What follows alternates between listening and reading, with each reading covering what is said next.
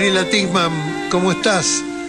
Desde Jujuy, la titular del submarino, eh, que eh, acabamos de escuchar de, de mano de, de el, el querido compañero Walter Formento la relación directa entre la cuarta flota, el golpe a a, Bolivia, que ya lo sabíamos, y Gerardo Morales como hombre ligado a Patricia Bullrich y directamente al Comando Sur ¿eh? de Estados Unidos.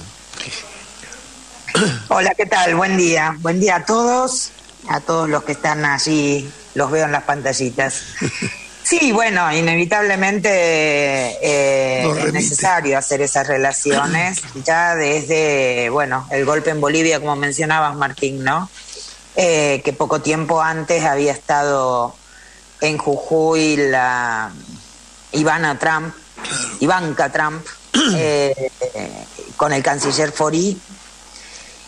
bueno, habían estado en Purmamarca, habían hecho eh, toda una, una puesta en escena de una visita amable, digamos. Pero bueno, después se conoció el tema de la, la, entrega de armas. Eh, bueno, de hecho, el que era embajador argentino en Bolivia, Normando Álvarez García, actualmente es el ministro de Gobierno de Jujuy. Y él está involucrado, está imputado en una de las causas judiciales que se llevan adelante en Bolivia, investigando precisamente ese aporte del gobierno de Mauricio Macri. Eh, bueno, la causa sigue allá, mientras acá en su momento el gobernador Gerardo Morales hizo un acto protocolar para condecorarlo a Álvarez García por su actuación durante el golpe durante esa jornada porque, bueno, lo condecoraba porque había ayudado a gente que estaba eh, en, problemas, digamos. Pero bueno, hay que recordar también que Normando Álvarez García, siendo embajador, dijo que no era un golpe lo que estaba sucediendo en Bolivia en ese momento. Qué raro. Qué bárbaro. Gabriela, tengo entendido que Álvarez García es uno de los, eh, digamos, factotum de la reforma constitucional, ¿puede ser? Bueno, como ministro de Gobierno, desde ya, Gobierno y Justicia es aquí el ministerio, desde ya eh, tuvo alguna, algún protagonismo. De todos modos, lo que se dice es que el texto de la nueva reforma fue encargado al estudio de Ricardo Gil Lavedra, que es donde hay este, bueno, abogados especializados en Derecho Constitucional y quienes ah, hicieron el, el, trabajo de la redacción del texto, por supuesto con las con las directivas y con, con el pedido del, del cliente, que en este caso es el gobierno de la provincia. A ver, esto es como, como, como, tarea legítima, después hay que ver cuál es el contenido, ¿no? Sí. Estos constitucionalistas de derecha que hablan desde Dios. Ay, Dios. y son asesores de asesores de gobierno militares, son asesores de, la peor calaña. Así es, así es. ¿Y cómo está la cosa? Eh, ¿Está para que se, se dé marcha atrás en la reforma o eso nunca va a pasar? No, eso no va a pasar por iniciativa de Morales desde ya. Él está muy, muy, seguro y, bueno, dar marcha atrás sería una, una derrota política y no está en su estilo tampoco. Lo que puede pasar con esta reforma es que prosperen las presentaciones de inconstitucionalidad, que hay más de una, o que exista alguna, alguna instancia en el ámbito de la política vinculada con las denuncias por las violaciones a derechos humanos, las torturas, las persecuciones, las represiones, las violaciones a los protocolos internacionales respecto de cómo tienen que actuar las fuerzas de seguridad frente a una eh, cuando tienen que dispersar una manifestación, por ejemplo, digamos, hay un listado de situaciones que podrían llegar a generar alguna acción ya desde el punto de vista político o institucional o judicial que, bueno que le ponga freno a la vigencia de la Constitución y que por lo menos haga revisarla, ¿no? Ahí creo que Claudio estaba queriendo hacer una, pregunta. Gabriela, ¿cómo te va? Un gusto, eh, un gusto, un gusto, maestra, un gusto, un gusto, da gusto escucharla.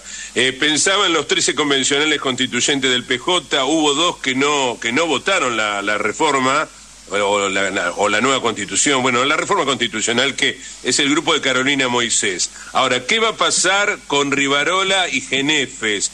¿Hay, hay alguna versión de que el PJ Nacional va a intervenir, el PJ local? Eh, ¿Cuál es el papel que les cabe a Rivarola y a Genefe? Porque realmente han sido cómplices de Morales y lo han demostrado en la elección del 2019. Sí, bueno, hace ocho años casi que han tenido una, digamos, a ver, en Jujuy no hubo desde lo que es el PJ orgánico una oposición política al gobierno de Gerardo Morales. Esto lo vimos desde el principio y, y, bueno, y eso también implicó que algunas figuras del peronismo local se, se fueran del partido, en algunos casos incluso expulsados, ¿no? Claro. Eh, el, sobre el tema de la intervención, bueno, hay pedidos, hay reclamos sobre eso y lo que se está lo que se está planteando es que probablemente mm, se, se, avance en ese sentido, pero no antes de las pasos. No antes de las pasos. Muy bien, muy bien, Gabriela. Eh, Gabriela, ¿cómo está la gente? ¿Se está reorganizando? ¿Se está armando? Se, armando, quiero decir, institucionalmente, no con armas. No, claro. La gente está firme, sobre todo las comunidades originarias. no van a perder su tierra ni mamá. Que, no, claro. Y además ellos conocen muy bien cuál es el, cuáles son sus derechos. Conocen eh, cabalmente, por ejemplo, que los estados están obligados a hacerles consultas eh, y a darles participación en cualquier acción que, que los influya. Y en este sentido, la reforma constitucional, más allá del contenido, ya tiene un problema de origen. Y es que desde el comienzo no se conoció nunca eh, un texto, no circuló un texto que se pudiera haber puesto en consideración de los distintos sectores de la sociedad. Y desde allí ya lo rechazan. Eh, por otro lado está el conflicto docente, que también está firme. En este momento está llevándose adelante la asamblea Mm, que todas las semanas hacen el gremio de los maestros. Hay un grupo de docentes que están haciendo huelga de hambre, al igual que un grupo de comuneros en la ciudad de La Quiaca. Y se siguen organizando eh, de este modo los cortes, las permanencias, también sectores campesinos. Eh, van dando paso en las rutas eh, con distintas frecuencias el corte de Purmamarca, que es el, más importante, digamos, que es donde el 17 de junio eh, se dieron las cuatro represiones en una jornada, las más, las más duras, las primeras. Eh, bueno, allí están y permanecen todas las noches y la gente de las localidades cercanas les acerca leña, víveres, mantas, colchones para que sigan allí y y organizan alrededor del fuego los cantos y los bailes eh, para sostener la lucha. Como decía Nora antes, Norita decía que eh, tenemos que aprender mucho de las comunidades y bueno, yo hace 20 años que vivo en la provincia y la verdad que uno no termina de aprender. Realmente eh, quizás desde las ciudades, de los grandes centros urbanos, en los se las ve como, como bueno, como que hay que explicarles algunas cosas y en realidad... Ellos nos tienen que enseñar a nosotros. Exacto, así es. Muchísimas gracias. Sobre todo esta cuestión de la alegría, ¿no? la lucha y, la cosa colectiva. Gabriela, ¿qué va a pasar con Milagro? ¿Qué va a pasar con Milagro? Sabemos que el otro día allanaron la casa de Milagro de manera ilegal, un atropello, le dejaron un lío en toda la habitación donde estaba agonizante Raúl Noro. ¿Qué va a pasar con Milagro? ¿Hasta cuándo esa obsesión del megalómano Morales contra Milagro? Bueno, evidentemente para él es este, él la necesita, ¿no? Y bueno, ¿hasta cuándo, Claudio? Y hasta que exista una decisión política en algún ámbito para dar fin a esta situación. Digamos, por el lado de la provincia, de la justicia de la provincia, del no va a pasar nada. de la provincia, no va a pasar nada, claro. Claro, claro. Perfecto. Muchas gracias, Gaby. Siempre Gracias, gracias Martín. Un abrazo grande. Saludos a todos. Buen domingo para todos. La mañana del domingo con Martín García. Al amigo todo, al enemigo ni justicia. Porque en esto no se puede tener